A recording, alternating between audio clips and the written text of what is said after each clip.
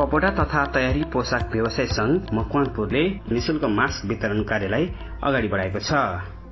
व्यवसाय संघका अध्यक्ष तेजराज अधिकारीले निशुल्क मास्क वितरण कार्यलाई सोमबारदेखि शुरू गरेर मंगलबार पनि निरन्तर दिएको हो। कोरोना भाइरसको आतंक र बजारमा भएको मास्क कालो बजारीलाई रोक्ने प्रयासमा आफ्नो संघबाट अभियान सुचारू गरिएको अध्यक्ष अधिकारीले बताए। अधिकारीले मास्क वितरण कार्यमा निरन्तर दिँदै कोरोना भाइरसबाट हुने संक्रमण बच्न सकिने बारेमा जानकारी गराएका थिए।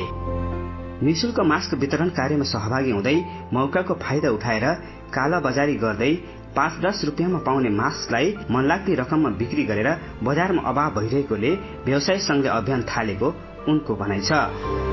सुरक्षाको निम्ति mask N ninety five mask सोमबारदेखि निशुल्क वितरण कार्यलाई निरन्तर दिएर करिब पच्चीस हजार मास्क वितरण गर्ने अभियान रहेको उनको भनाइ छ। विश्वभर फैलिरहेको कोरोना भाइरसबाट बच्न सचेत हुन आग्रह गर्दै व्यवसाय संघका टोलीले सोमबारदेखि शुरू गरेको अभियान अन्तर्गत मंगलबार हेटौँडा उपमहानगरपालिका वडा नम्बर छ सोह्र सत्र र अठारमा लगभग दुई हजार र सोमबार बुद्धचोकमा तीन हजार गरी करिब पाँच हजार मास्क निशुल्क वितरण गरिएको अध्यक्ष अधिकारीले बताए।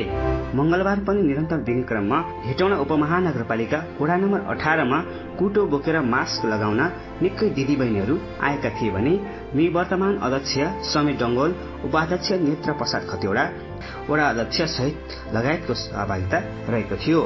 हेटौँडा उपमहानगरपालिकाको समन्वयनमा मास्क लगाऊ कोरोना भाइरस सम्बन्धी सन्तास भगाऊ भन्दै अध्यक्ष अधिकारीको सभा अध्यक्षता हेटौँडा उपमहानगरपालिकाका नगर प्रमुख हरिबहादुर महतको प्रमुख आतिथ्यमा अभियानको शुरू गरिएको हो। करिब पच्चीस हजार मास्क वितरण योजनालाई पूर्ण गर्ने अध्यक्ष तेजराज अधिकारीले बताएका हुन्। बजारमा भएको मास्क अभाव र कालो बजारी रोक्ने प्रयासमा कपडा तथा तयारी पोसाक व्यवसाय संघलाई सफलताको शुभकामना।